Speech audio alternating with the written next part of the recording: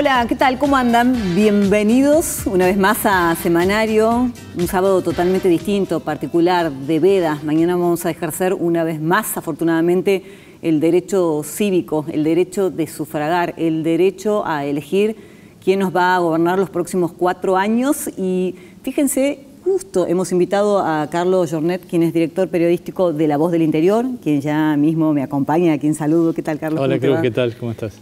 Qué, lindo momento, ¿no? Es el de ir a votar, el de elegir nuevamente este, a quién tenga que enfrentar, a quién le vamos a dar el mandato de, llevar adelante los destinos, en este caso de la provincia, ¿no? Sin duda, pero además en este caso con el condimento especial de que estamos eh, acercándonos a los 40 años de democracia. Exacto. Con lo cual, bueno, tiene una carga muy simbólica y muy representativa.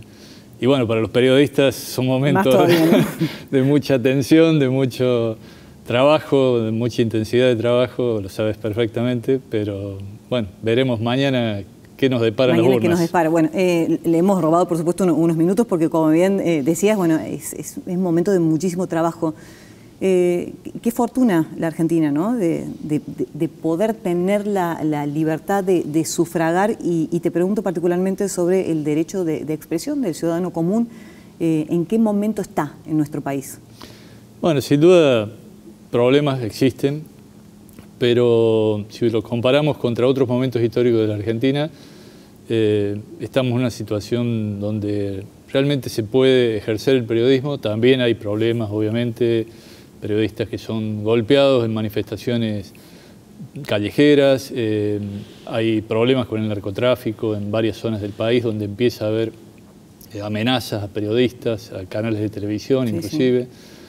Pero si lo comparamos con el resto de Latinoamérica, la verdad estamos en una situación mucho mejor. Hay zonas del continente que están pasando momentos realmente delicados, muy, muy trágicos. Hay una, sociedad que es la Sociedad Interamericana de, Prensa, que es en definitiva la que este, determina los lineamientos, que, de alguna forma termina amparando a, la prensa y, mientras este, más libertad haya, eh, bueno, por supuesto que será mucho mejor la, devolución y el crecimiento que tiene un país. Pero bien mencionabas recién, en comparación con, otros países, sobre todo latinoamericanos, ¿estamos mucho mejor? Estamos mejor, eh, nunca se puede decir mucho mejor, porque bueno, el ideal es vivir una plenitud de, libertad de expresión y de libertad de prensa, que es la libertad de expresión de la que, cual gozan los periodistas y los medios de comunicación. Eh, la Sociedad Interamericana de Prensa, como bien dices, es una entidad continental que va desde Alaska hasta Tierra del Fuego, donde están representados todos los medios del continente, una buena parte de los medios del continente, desde los más grandes, como el New York Times, El Tiempo de Bogotá, La Nación o Clarín en, la Argentina, medios regionales como La Voz del Interior, y también medios muy pequeños, algunos solo digitales, algunos que están trabajando desde el exilio porque han, sido, han tenido que exiliarse por situaciones políticas y que realmente la están pasando muy mal en países como Nicaragua, El Salvador, Guatemala, México, donde hay... ¿México también? Hay, eh, bueno, en este último periodo no ha habido tantos asesinatos, pero el año pasado se batió un récord en los últimos 10, eh, 15 años ha habido más de 700 periodistas asesinados en todo el continente, buena parte de ellos en, México, donde el narcotráfico y en muchos casos en connivencia con sectores políticos, con la protección de fuerzas policiales que tienen vínculos con el narcotráfico, eh, bueno, eh, amedrentan a los periodistas y en muchos casos llegan al asesinato. Y en ese caso, ¿cómo, cómo actúa esta sociedad? Este eh, cuál es el amparo que encuentran en la misma si es que ejerce este tipo de función, ¿no? Sí, sí. Eh, yo presido la Comisión de, Libertad de Prensa e Información justamente en, la CIP. Tenemos un vicepresidente regional por cada país, con lo cual recibimos permanentemente informes sobre lo que está pasando, sobre ataques, sobre amenazas. Eh, trabajamos también sobre temas de legislación que pueden llegar a coartar o a beneficiar a la libertad de expresión. la Sociedad Interamericana de Prensa nació, bueno, la fecha precisa es difícil porque la primera conferencia panamericana de periodistas fue en 1923 en Chile, pero tres años después se considera que fue el puntapié inicial realmente de la Sociedad Interamericana de Prensa por una convención que se hizo en Estados Unidos.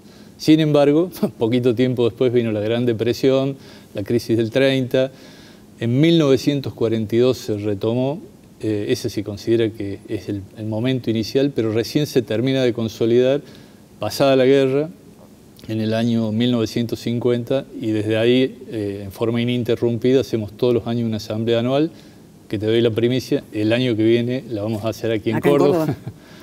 Van a venir representantes de medios de todo el continente, y el objetivo de esas asambleas es por un lado, debatir sobre la libertad de expresión en, todos los países del continente, por otro lado, brindar herramientas para la capacitación de periodistas, de directivos de medios, apuntar a la sostenibilidad de los medios en un momento donde hay una transición de medios tradicionales a nuevos medios, a plataformas, y, trabajar también por estos temas de legislaciones que pueden llegar a, realmente a, marcar un, punto de censura, ¿no? ciberataques, eh, em, ciberespionaje que se hace sobre periodistas y sobre medios, leyes que eh, están dirigidas a ahogar a la prensa para que los medios pasen a manos del Estado o de, peor aún, de la familia gobernante, como es en el caso de los Ortega Murillo en, Nicaragua. Es decir, bueno, es un contexto realmente difícil, eh, muy intrincado y que tenemos que seguir permanentemente. Tenemos un monitor diario que se puede acceder desde desde la web sitbot.net. Es decir, un acceso público. Es un acceso público donde uno puede ingresar, ver las amenazas eh, del día en, cada país o los problemas del día en cada país y puede también formular denuncias que son investigadas por nosotros y sobre esa base realizamos gestiones a nivel internacional. Bien, ya volvemos con, lo que va a suceder el año próximo acá en Córdoba, eh, pero mi pregunta es la siguiente, ¿cuáles son las principales amenazas de las cuales dan cuenta eh, los periodistas? Bueno, la las más importantes son las amenazas directas, eh, empezando por las amenazas verbales de presidentes, por ejemplo, Andrés Manuel López Obrador, en la Argentina nuestro propio presidente, muchas veces tienen discursos confrontativos que descalifican totalmente el trabajo periodístico, y esto en un clima normal, bueno, forma parte del juego democrático, pero cuando hay además situaciones de violencia como la que mencionábamos recién en México, es una luz verde, una carta blanca para que el narcotráfico u otra narcodelincuencia eh, avance sobre los periodistas y termine con los asesinatos. ¿Cuánto de solidaridad hay entre los colegas? Hay bastantes. Eh, realmente lo discutíamos el otro día porque cómo se ejerce el periodismo en Nicaragua cuando prácticamente todos los periodistas están fuera de Nicaragua. Donde no tenés acceso a la fuente, donde no puedes ir a visitar a una persona porque estás cruzando la frontera. Y sin embargo, se sigue ejerciendo porque hay solidaridad, hay un trabajo mancomunado. En la misma Cuba, por ejemplo, se sigue ejerciendo el periodismo independiente, tratando de conectarse a, una, un Internet muy débil desde una plaza, desde un museo, tratando de, tener la posibilidad de subir un posteo en una red social, por ejemplo. Claro, qué, bárbaro, qué, locura. Bueno, en, eso dista mucho de lo que sucede en nuestro país, ¿no? Eh, y la presión política? Bueno, la presión política, por un lado, no nos engañemos, es una presión permanente, es decir, las tensiones entre el poder político y la prensa existen, es saludable que existan porque eso quiere decir que la prensa está haciendo su trabajo de controlar el poder, de investigar, pero evidentemente en una situación como la actual, donde hay un cambio de las reglas de juego, donde el modelo de negocio de los medios tradicionales está cambiando, está mutando, las presiones del poder político empiezan siendo económicas, luego empieza con este tipo de, cuestiones como las que mencionamos, amenazas de sacar una ley que regule, que controle, en el caso de canales de televisión o de radio, que les retire la licencia. Así pasó en Venezuela, así pasó en Nicaragua, así está pasando en Guatemala.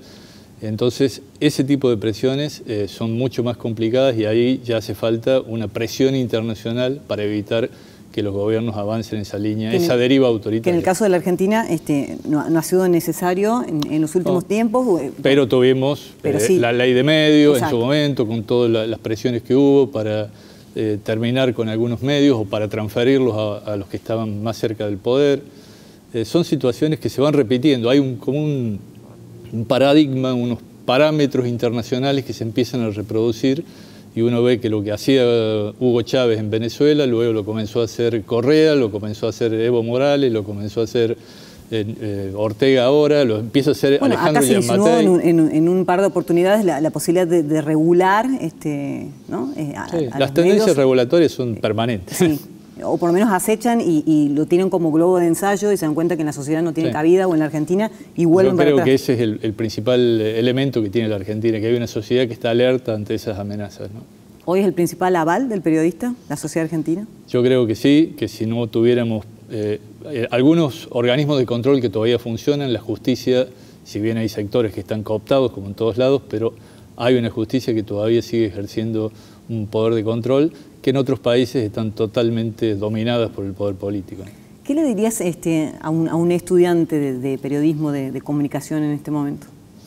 Que es una actividad maravillosa, yo hace muchos años que la ejerzo y la verdad, bueno, me ha tocado pasar por todos los cambios que he vivido en la profesión desde la década del 80 hasta hoy, pero cada día creo que uno se va eh, reconvirtiendo, va aprendiendo nuevas herramientas y hoy hay muchas más posibilidades de conexión con audiencias, no solo... ¿te, parece que...? Este... Sí, sí, o sea, la voz del interior, por ejemplo. Antes tal vez teníamos en algunos sentidos más audiencia en determinada plataforma, pero hoy la audiencia global de la voz del interior, sumando internet, sumando televisión misma, que hacemos eh, un programa político, cuando uno empieza a sumar todas esas audiencias y la posibilidad de llegar al otro extremo del mundo en segundos y tener la devolución de la audiencia de una persona que está en China o está en Estados Unidos o está en Europa, eh, realmente eh, es, mucho más enriquecedor. ¿Tenés este Instagram, TikTok y todo eso? sí, eh, en ¿Ah, realidad. Ah, mira, qué avanzado. Chusmeo, todas las, redes sociales y estoy presente en varias, en algunas con alguna participación. Trato de mantener un perfil bajo porque, bueno, por mis funciones, en, varios sentidos, este, trato de, no estar expuesto a esa, esa permanente tensión que se vive en las redes sociales. pero ¿eh? siempre las miro. Te damos eh, un like desde acá, ¿te parece? Muchas gracias. ¿eh? Vamos a hacer la primera pausa y en un ratito Esteban Domina. Vamos a hablar con él de historia, por supuesto, pero le vamos a preguntar también los orígenes del Día del Padre que pasó recientemente. Pausa. Ya venimos.